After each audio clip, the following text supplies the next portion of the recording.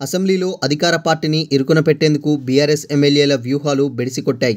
సవితేంద్రారెడ్డిని CM అవమానపరిచారని క్షమాపణలు చెప్పాలని సభ ప్రారంభం నుంచి ఆందోళనకు దిగిన గులాబీ ఎమ్మెల్యేలకు స్పీకర్ మైక్ ఇవ్వలేదు అదే పనిగా సభా కార్యక్రమాలను అడ్డుకుంటే సభ నుంచి సస్పెండ్ చేస్తారని ఆశించారు. అయితే ప్రభుత్వం మాత్రం సస్పెన్షన్ జోలికి వెళ్ళకపోవడంతో సడన్గా వ్యూహం మార్చి సీఎం ఛాంబర్ ముందు ఆందోళనకు దిగారు. అయినా బీఆర్ఎస్ ఎమ్మెల్యేలకు అనుకున్నంత మైలేజ్ మాత్రం రాలేదన్న చర్చ జరుగుతున్నది. మహేశ్వరం ఎమ్మెల్యే సబితా ఇంద్రారెడ్డికి సీఎం రేవంత్ క్షమాపణలు చెప్పాలని అసెంబ్లీ ప్రారంభం నుంచి బీఆర్ఎస్ ఎమ్మెల్యేలు ఆందోళనకు దిగారు.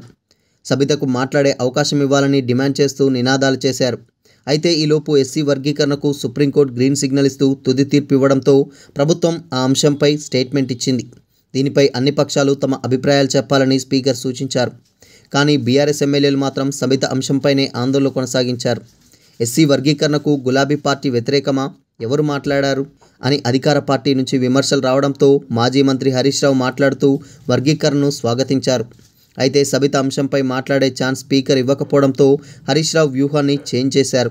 సభలో మిగతా పక్షాలు మాట్లాడుతున్న సమయంలో ఓవైపు బీఆర్ఎస్ ఎమ్మెల్యే మహిళా ఎమ్మెల్యేతో సభలో నిర్ణయం తీస్తూ మరోవైపు మిగతా ఎమ్మెల్యేలతో కలిసి బయటికి వచ్చారు. సడన్గా సీఎం ఛాంబర్ ముందుకు వెళ్ళి బైఠాయించి కాంగ్రెస్కు వ్యతిరేకంగా నినాదాలు చేయడంతో మార్షల్స్ వచ్చి బయటకు తీసుకొచ్చారు. అయితే సభా కార్యక్రమాలను అడ్డుకుంటే తమను ప్రభుత్వం సస్పెండ్ చేస్తుందన్న అంచనాతో బీఆర్ఎస్ ఎమ్మెల్యేలు వేసిన ప్లాన్ బెడిసికొట్టిందన్న చర్చ జరుగుతున్నది.